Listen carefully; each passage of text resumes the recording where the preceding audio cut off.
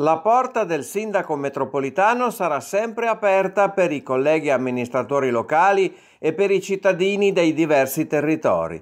La città metropolitana deve avere una funzione di cerniera fra i territori e sostenere le amministrazioni comunali nel rapporto con la Regione Piemonte. Vogliamo essere un'istituzione amica dei sindaci e dei cittadini, soprattutto quelli più lontani dal capoluogo. Sono alcuni dei concetti sottolineati dal sindaco metropolitano Stefano Lorusso nell'intervento che ha aperto la seduta di insediamento del nuovo Consiglio metropolitano nella sala Elio Marchiaro di Piazza Castello. Il sindaco ha sottolineato che la ripartenza economica e sociale dell'intero Piemonte non può prescindere dalla ripartenza della città di Torino e della città metropolitana più estesa d'Italia. Lo russo ha parlato di sfide importanti da cogliere tutti insieme, consiglieri metropolitani, amministratori, comunità locali, per aiutare un territorio laborioso.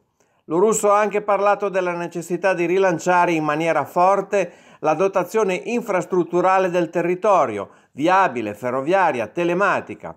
Grazie ai fondi del PNRR ha sottolineato il sindaco, si sta aprendo la stagione della ripartenza in cui la città metropolitana avrà un ruolo importante. Il valore incredibile che ha il, la presenza della, la, della, ramificazione nel nostro territorio della, dei piccoli comuni è eh, esattamente quello di un presidio del territorio, i piccoli comuni vanno aiutati, vanno aiutati da tutti i punti di vista politici ma anche eh, amministrativi. Mia intenzione è fare in modo che la città metropolitana nei prossimi anni diventi sempre di più un luogo in cui i sindaci, gli amministratori e i cittadini possano eh, trovare risposte alla complessità dell'amministrazione che oggettivamente oggi, soprattutto in, in, in, per un sindaco, è davvero elevata. Al momento di comunicare l'assegnazione delle deleghe ad alcuni consiglieri della maggioranza di centrosinistra, il sindaco Lorusso ha spiegato di aver tenuto presenti tre criteri quello politico, relativo al peso del gruppo di centrosinistra scaturito dalla tornata elettorale